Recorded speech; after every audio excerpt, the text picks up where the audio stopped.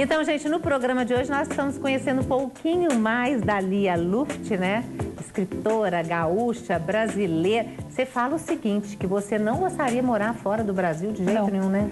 Não, eu adoro o Brasil. Mesmo nessa fase de agora, que eu acho uma fase meio complicada, né? Com Hum. muita coisa não muito boa acontecendo, enfim.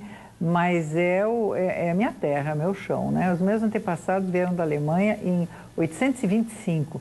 Então, eu sou de muitas gerações no Brasil, muitas gerações. Agora, quando você está citando esse momento que muita coisa está acontecendo, É. você está se referindo exatamente ao quê? Eu estou referindo, me referindo, em primeiro, à decadência da nossa educação. Eu acho um erro, por exemplo, fazer todo mundo entrar na universidade, nós, na verdade, baixando o nível da universidade. Nós devíamos fazer boas escolas para todos, ricos, pobres, pretos, brancos, índios, não interessa. Todo mundo tivesse uma boa escola, aí poder entrar numa universidade boa.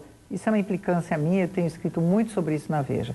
Outra coisa é a descoberta triste que a gente vai fazendo de quanta corrupção É. acontecendo no Brasil nesses últimos anos, inclusive em meios em que a gente imaginava que ali houvesse um ideal de, de etc. Eu acho muito triste isso. Para nossa Uhum. O menos pior disso tudo é que as coisas estão aparecendo. Pelo né? menos estão aparecendo. Estão aparecendo, mas a gente fica pensando, nossa.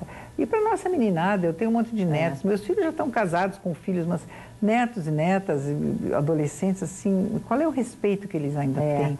Né, pelas autoridades, pelas coisas. Eu acho que a gente está passando uma crise de autoridade, uma crise de decência e uma crise de cultura. Mas é o país da gente, quer dizer, você viaja o mundo, chega aqui, é o sol, é a simpatia das pessoas, é o afeto, é o Mesmo é tudo, com né? tudo isso, né? Mesmo Com faltando dinheiro para a educação, falta E- dinheiro não, para a saúde, A mas tem violência. Tem dinheiro, mas é mal aplicado, não é aplicado. Vai para o bolso de quem não devia, é aplicado em besteirada, não é aplicado. Não há projetos bons para Uhum. para poder aplicar o dinheiro.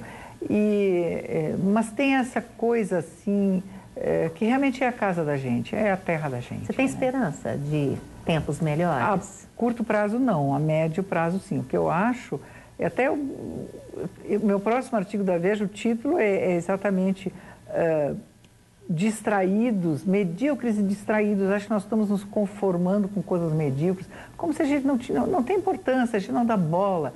Eu acho isso muito ruim, a gente está aceitando demais as coisas. A gente. Mas isso também tem a ver com a escolaridade. Uma boa escola, uma boa educação é uma boa informação. Então, todos, eu repito, pobre, rico, preto, branco, amarelo, quadrado, redondo, alto, baixo, magro, vai ter a informação suficiente para fazer boas escolhas para a sua vida, na política, nas Com eleições. certeza. Para fazer boas escolhas, a gente tem, Tem que estar que conhecer, né? Tem que ler jornal, tem que ler jornal, tem que ver notícia, não só fofoca de celebridades ou besteirada, mas também as Uhum. notícias, as reportagens. Você tem que ser um ser do mundo que está complexo Com e, certeza. e grande. Agora, quando você fala uma crise de cultura, né? A gente sabe que a cultura é, a cultura é, é o nosso dia a dia, o tudo, nosso é. fazer, a nossa É. criação e tudo mais. Mas você fala de acesso também, a gente sabe que a gente está num país que acho que pelo menos pelas pesquisas que estão aí, né? Que 60% dos jovens nunca foi a um cinema, a um teatro, a um espetáculo. A, quantidade de brasileiros que são analfabetos é uma coisa assustadora. São muitos milhões. É quase a metade da população que é analfabeta. Analf... Porque alfabetizado não é só saber assinar o nome. Alfabetizado é quem assina o nome num documento que ele leu e compreendeu. Né? Isso é um verdadeiro uh, alfabetizado. Pois- Então falta muita coisa, né? Pois é, você tem um livro, é, Escolhas, Múltipla escolha. Múltiplas Escolhas, né? Múltipla escolha. Quer dizer, como é que a gente pode escolher se você. Não sabe. É. Como? Pois é, falta aquilo que talvez seja a coisa mais importante para dar para os filhos, para as crianças, as escolas dar para os alunos, uma, uma palavrinha que eu gosto, que se chama discernimento. O que, que é discernimento? É a capacidade de olhar, analisar, mais ou menos, se é melhor ou pior, e fazer uma escolha. Não, eu quero aquilo que eu acho que é melhor, eu quero que é mais legal, eu quero que é mais bacana, que é mais saudável, que é para o meu crescimento pessoal, para o bem. Mas isso é... Agora, Li, o que, que você fala da questão da família hoje? Nesse livro Tem a personagem que eu achei a mais fofa do mundo, que é a vovinha, a vovinha. que é a voz, que é a avó, a né? Avó que até perguntei, como é que você inventou vovinha? Eu fiquei pensando, será que ela teve uma vovinha, não, era vovinha? Não, isso não inventei, as coisas vêm na hora, estão lá no meu inconsciente, vão surgindo, né? Eu vou inventando. Como o tigre, por que, que no fundo do quintal achou um tigre? Tigre de olho por azul. Por que, que depois o tigre tinha olho azul? Eu sei, porque eu achei engraçado, achei bonita, apareceu a vovinha. Pois é, aí a vovinha, e você fala muito, é tudo seu, né? Eu leio sempre as suas coisas, você fala a questão da família, dos valores, e você fala de uma coisa que eu acho sensacional, que é a importância das refeições. É verdade. Nós estamos no final do ano, né? Comer acho junto, que é tão né? bom dizer é, isso. É. é porque, em geral, é, a gente corre muito, a vida está cruel nesse sentido. Todo mundo tem que trabalhar muito, e se não teria que trabalhar tanto, trabalha tanto porque quer dar um, o mais, né? O mais que às vezes é completamente desnecessário. Menos importante do que uma hora para estar em casa juntos. Então, ou cada um se fecha no seu quarto, no computador e come de bandejinha, ou não olha para a cara do outro, não vem para casa. Então, essa, essa hora, pelo menos uma vez ao dia, que a gente pudesse, né, ou algumas vezes por semana, comer juntos, mas uma refeição em que as pessoas conversassem. Não aquela história de dizer, cala a boca, a criança não fala na mesa, agora é hora de ficar quieto. Não, a, a refeição é hora de falar. Comer e falar, porque senão as pessoas não se encontram. E não estar tá na mesa, cada um com seu celular ou coisa assim a gente podia cultivar isso um pouquinho, né? O natural, assim. Agora é hora da família estar junto, né? Desliga o celular e vamos conversar. Como é... Na minha casa sempre foi natural, na casa do meu pai, na casa do meu primeiro marido com meus filhos e hoje com as netas, quando almoçam lá. Como é que foi na escola? Como é que tá? Que é um amigo? E que, que comprou? O que, que viu? Para a gente trocar junto, ideias, né? Para a gente conversar. E, e, e, você fala uma coisa muito interessante, você fala assim, ah, tudo começa em casa. Vou te dar um exemplo prático. Belo Horizonte é a cidade dos bares, você sabe, né? Nós Eu não sei. temos mar, mas é, temos bar. É né? verdade.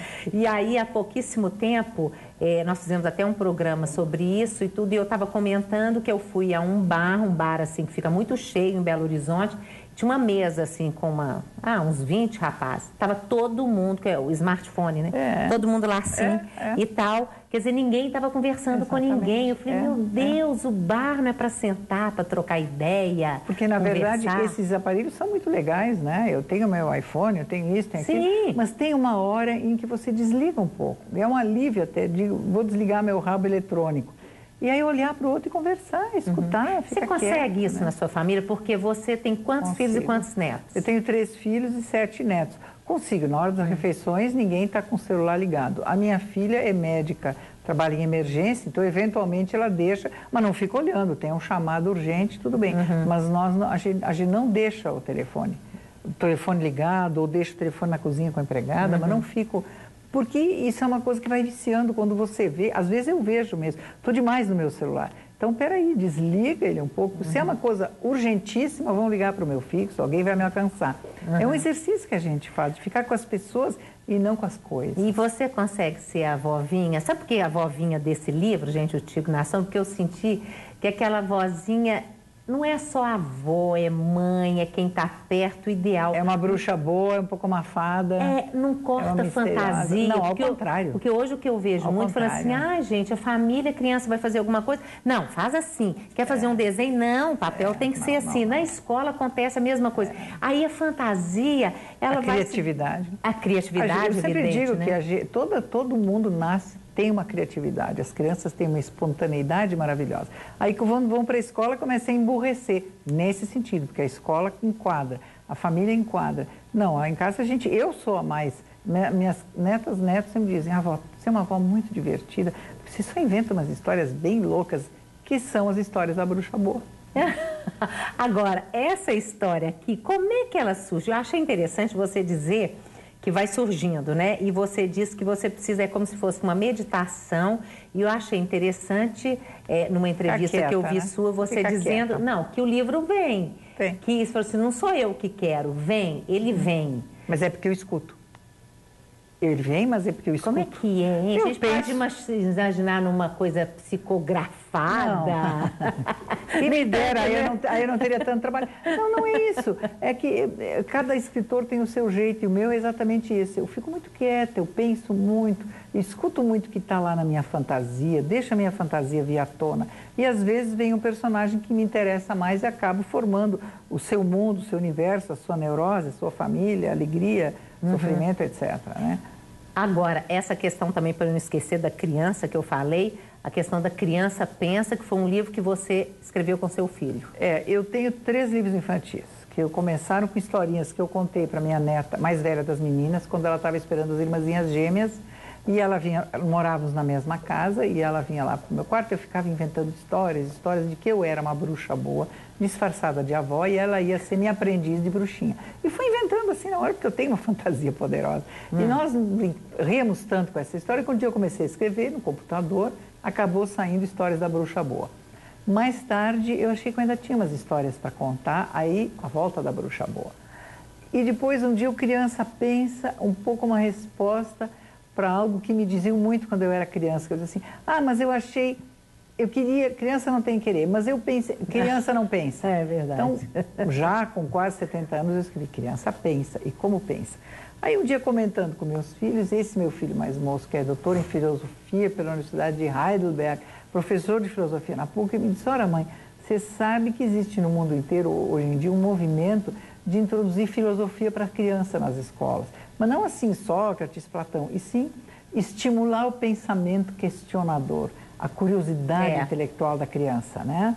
E aí eu, eu comecei a escrever o livro, e, mas eu fiquei com medo de falar muita bobagem nesse sentido, então escrevemos um pouco a quatro mãos, por e-mail. A gente escrevia, um mandava para o outro e saiu o Criança Pensa, que é exatamente um livro para ser adotado nas escolas, eh, no sentido de, da, já é para criança assim de 7, 8, 9 anos, delas respeitar, a escola, a família, respeitar a- o pensamento, É, o pensamento. a curiosidade da As indagações. Você fazia filosofia desde pequenininha, na medida que você É, indagava. Exatamente. Aí eu tô É lembrando aqui disso. filosofia particularzinha. É, assim. não, mas porque Santo Agostinho dizia isso. São, é, é- é por conta das perguntas que nós nos fazemos, É, das é, indagações que nós nos fazemos, que nós nos conhecemos. Não é pelas respostas. Porque não são todo- pelas exatamente, respostas, O que né? importa são as perguntas, porque as respostas a gente não tem verdadeiras ou certas. Mas, e todo mundo tem essa capacidade. É só parar para pensar, É. é. só olhar para dentro de si. Todo mundo pode ser criativo. Senão, claro, tem uma pessoa que nasce com uma profissão que exige mais cri- criatividade, como escritor, ficcionista. Outro exige mais racionalidade. Meu marido é engenheiro, é então outra coisa. Mas essa capacidade de ver o belo, o mágico, de sentir, é, é muito interessante. Todo mundo tem essa capacidade. Pois é, agora, você começou como tradutora. Você traduziu mais de 100 livros, É, né? Em muito. inglês, alemão. Literatura boa, inglês e alemão. Justamente. Te ajudou de alguma forma? Mas eu queria fazer uma pergunta aqui de uma internauta, que é Emília Carolina Souza, que ela falou assim: olha, partindo do princípio que a tradução também tem a sua dose de criação, qual seria para você a diferença entre traduzir a obra de outros e escrever é, é, a sua própria? Ela falou assim: ah, ela já traduziu. Ah, tá, ela já traduziu alguma. ela- se você já traduziu alguma obra sua para o inglês e tudo mais, Não, isso aí seria uma É, recriação. não, eu tenho livros traduzidos em muitos países, mas sempre traduzidos por profissionais daquele país, porque eu traduzo para a minha língua materna, que é português, que é aquela que eu domino melhor. A tradução me ajudou muito como exercício. Porque muita né? coisa você Eu tinha que traduzia- inventar, né? Você escrever. Não, a gente procura não inventar muito, né? Porque, na verdade... Mas o que, que você fazia? Como eu traduzi muitos anos, eu durante muitos anos, todos os dias escrevia português, 5 horas, 6 horas, 8 horas, que era a minha profissão. Então, eu- o domínio do instrumento, linguagem, é que me foi dado muito facilitado pelo exercício, anos e anos da tradução. Não, quando eu traduzo um texto, eu tento aproximar da melhor forma possível para o leitor brasileiro o que o meu colega estrangeiro, escritor vivo ou morto, quis dizer, o que eu acho que ele quis dizer. Então a gente não pode fantasiar muito em cima. Agora, também não dá para traduzir palavra por palavra. Você tem que. Eu acho que para ser um bom tradutor, a gente também teria que ser um escritor, ou pelo menos ter a paixão da literatura. Uhum. Né? Você não pode traduzir mecanicamente de uma forma. Também não pode fantasiar em cima, fazer um carnaval. E como eu tenho muitos livros meus traduzidos em vários países, agora eu estou do outro lado do balcão. Então eu vejo, quando eu leio alguma tradução feita de um livro meu, como é difícil encontrar esse meio termo de é, botar o que eu queria dizer no outro idioma, é, dando o meu recado para aquele leitor que muitas vezes está numa cultura completamente diferente. Uhum. Por exemplo, Perdas e Ganhos acaba de sair no Vietnã. Claro que eu não posso ler, porque até o alfabeto deles é diferente. Mas como é que será que um vietnamita sente, pensa? É, é super interessante. Então, uhum. o tradutor tem que tentar aproximar as culturas. Agora, é, é quando você escreveu Perdas... Aliás, você já vendeu um milhão e é, Esse livro vende loucamente até hoje. Pois é. é. Em que momento que você escreveu esse livro, Perdas e Ganhos? Nada, eu estava... Eu, esse estilo de escrever, que eu chamo de ensaios não acadêmicos, falar diretamente para o leitor, começou, acho que em 96, 97, com o Rio do Meio. Que eu pensei, eu vou falar diretamente para o meu leitor todos esses mesmos temas. A vida, a morte, encontro, desencontro, tá. O mistério das coisas. Aí eu escrevi o Rio do Meio. E depois de uns anos eu escrevi, aí eu pensei em retomar esse gênero e escrevi o Perdas e Ganhos, eh, falando os meus temas num tom direto para o leitor. Eh, foi quando eu entrei na editora Record, onde eu estou agora, e o único inédito que eu tinha acabado de escrever era esse. E e eu entreguei para a editora e ninguém acreditou muito. A editora fez uma edição de 3 mil exemplares, o que é muito pouco. Eu já tinha livros sempre com edições bastante grandes. Depois de uma semana não tinha mais. Não teve marketing, não teve entrevista, não teve sempre, não teve nada. Depois de 15 dias não tinha mais. E, e foi indo, foi indo e está traduzido praticamente no mundo inteiro e é uma loucura o que vendeu e vende. Uhum. Agora, agora E ninguém esperava, muito menos eu. É, deve ser uma... É o boca a boca É uma surpresa faz. tão gostosa é, que deve foi, ser No começo até né? me assustava, ficou 113 semanas na lista de mais vendidos da Veja e outras revistas. E foi boca a boca, porque não teve propaganda, não teve marketing uhum. nenhum. Agora me conta, você tinha projeto de ser escritora quando você começou com a tradução? Não. Não. Tanto que eu já tinha três livros publicados, dois de poesia e um de crônicas, e nunca me chamava uh, escritora. Quando eu ia para o hotel, você tem que né, registrar, eu botava tradutora. Ou professora, durante uns anos eu fui professora de faculdade, mas não gostava e, e caí fora cedo. É, só depois do sucesso das parceiras aos 40 anos, eu me dei conta, mas eu nasci para fazer isso. Então eu comecei a botar escritora. Opa! É, levei tempo. Opa, que legal. Nós vamos fazer mais um intervalo. Daqui a pouquinho a gente volta. Se quiser falar alguma coisa pra gente, o programa foi gravado, né, gente? Mas pode mandar. Tem os endereços nossos pela internet estão aí. Agora, só te aconselho você entrar no facebook.com/barra Brasil das Gerais. Vamos fazer amizade hoje, agora. E nós temos livros lá da Lia Luft para você também, tá? A gente volta daqui a pouquinho. Tchau, tchau.